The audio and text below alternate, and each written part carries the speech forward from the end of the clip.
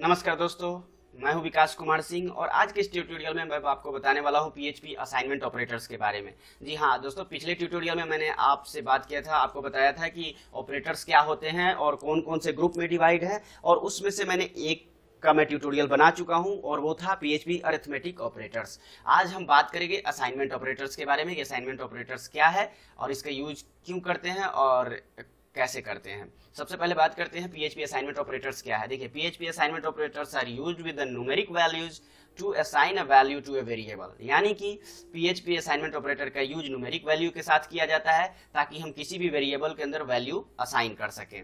अब बात करते हैं बेसिक असाइनमेंट ऑपरेटर्स की। तो ये जो इक्वल का साइन है, ये सबसे बेसिक होता है और इसका काम क्या होता है? इसका काम होता है कि जब हम जब हम एक्सप्रेशन यूज़ करते हैं, ठीक है तो क्या होता है कि लेफ़्ट साइड में, के ऑपरेंड में राइट साइड की वैल्यू असाइन हो जाती है। यानी राइट साइड में, जैसे कि मान लीजिए यहाँ पे हमने ये यूज़ किया है, ठीक है असाइनमेंट ऑपरेटर्स तो यहाँ पे क्या होगी, y की वैल्यू x में असाइन हो जाएगी। यानी राइट हैंड साइड की जो ऑपरेंड है, उसकी वैल्यू लेफ़्ट हैंड साइड के ऑपरेंट्स में असाइन हो जाती है। इसका डिस्क्रिप्शन में देख सकते हैं असाइन ठीक है?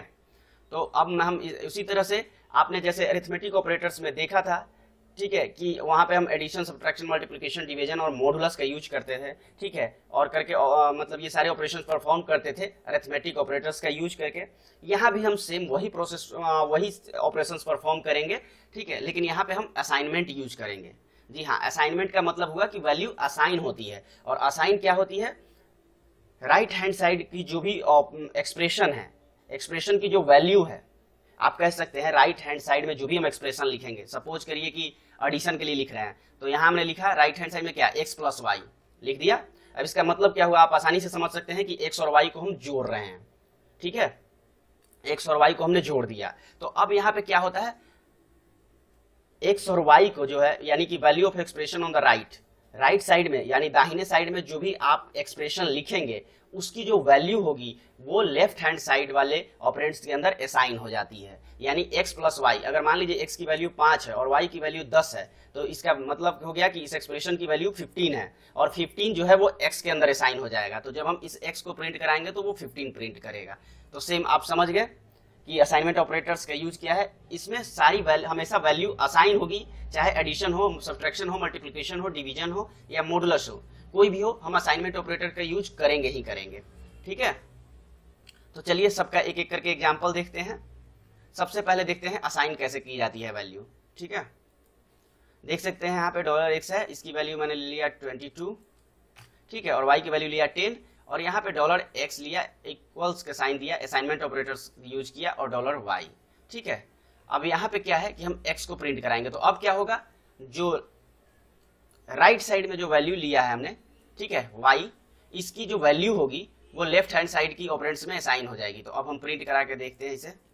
पेज रिफ्रेश करते हैं। टेन टेन यानी टेन यानी वाई की वैल्यू यानी वाई की वैल्यू प्रिंट कर रहा है एक्स यानी एक्स के अंदर हमने रखा पहले बाई से साइन किया वाई के अंदर टेन साइन किया। है अब वाई को हमने डॉलर एक्स असाइनमेंट ऑपरेटर और वाई यूज़ किया। तो अब क्या होगा? वाई की वैल्यू एक्स के अंदर असाइन हो गई, यानी टेन एक्स के अंदर असाइन हो गई। तो अब यहाँ जब हम प्रिंट कराएँगे तो ये टेन प्रिंट कर रहा है, जैसा कि आपने यहाँ देखा अभी। तो आप समझ गए कि असाइन ऑपरेटर्स का यूज़ कैसे किया जाता है, यानी बेसिक असाइनमेंट ऑपरेटर्स का यूज़ कैसे किया जाता है। यानी आप ये समझ गए कि राइट हैंड साइड के जो एक्सप्रेशन है, उसकी वैल्यू लेफ़्ट हैंड साइड में कैसे साइन होती है। ठीक है? अब हम देखते हैं एग्ज़ाम्पल एडिशन का, ठीक है? एडिशन का आप देख सकते हैं कि एडिशन के लिए कैसे असाइनमेंट करेंगे। एडिशन का असाइनमेंट मैं आपको बता देता हूँ। यहाँ पे क्या करना है आपको? यहाँ पे बस एडिशन के लिए ये प्लस लगाना है। और ये क्या करेगा? इसका काम क्या होगा? इसका काम ये है।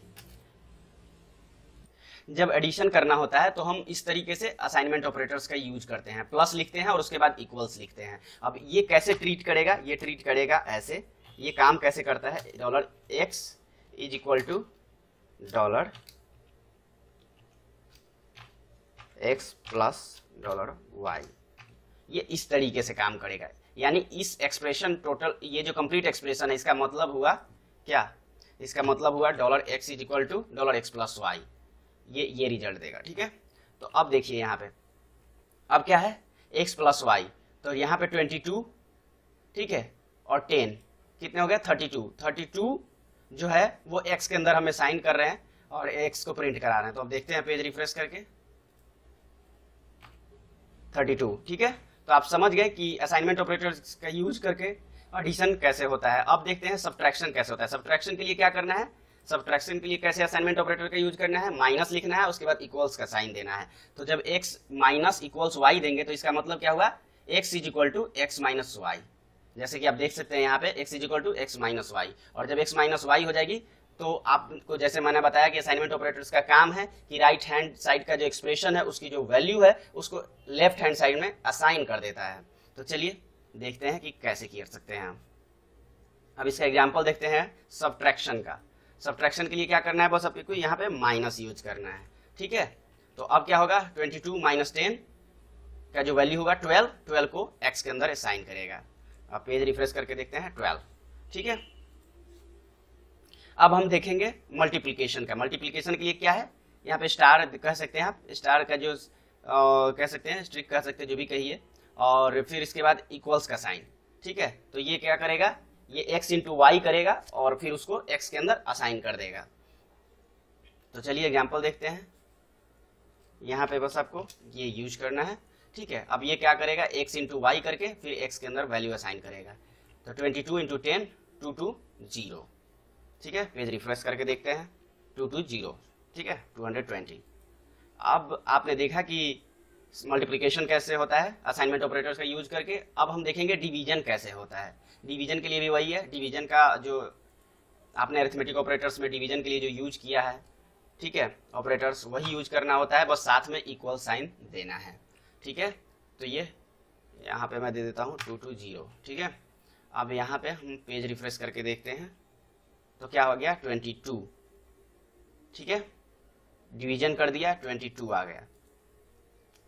तो आप जान सक, देख सकते हैं यहाँ पे ये डिवाइड कर दिया और आपको रिज़ल्ट दे दिया, ठीक है?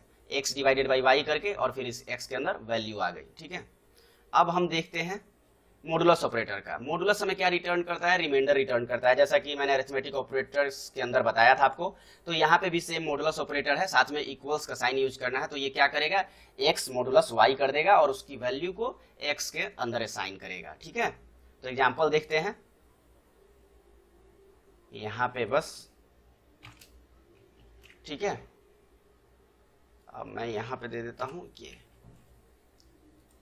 अब देखते हैं पेज रिफ्रेश करके। तो ये फाइव देगा। ये क्या देता है? मॉडुलस ऑपरेटर का मैंने बताया था, ये रिमाइंडर रिटर्न करता है। तो 225 को, यानी कि एक्स को वाई से डिवाइड कर दिया, और जो रिमाइंडर बचा, वो एक्स के अंदर असाइन हो गया। तो ये एक्स को हम जब प्रिंट कराएँगे तो वो फाइव दे रहा है हमें। तो आप समझ गए कि पीएचपी के अंदर असाइनमेंट ऑपरेटर्स का यूज़ कैसे किया जाता है, और असाइनमेंट ऑपरेटर का यूज़ करके आप कैसे जो है न्यूमेरिक कैलकुलेशन कर सकते हैं, कैसे आप मैथमेटिकल कैलकुलेशन कर सकते हैं पीएचपी में। तो दोस्तों, अगर आपको ये ट्यूटोरियल अच्छा लगा तो इसे लाइक करिए, अपने फ्रेंड्स के साथ शेयर करिए। और अगर आप हमारे चैनल पर नए हैं तो हमारे चैनल को सब्सक्राइब कर लीजिए। मैं इसी तरह के ट्यूटोरियल लेके आता रहता हूँ आप लोगों के लिए। मिलेंगे किसी नई ट्यूटोरियल में नई जानकारी के साथ। धन्यवाद।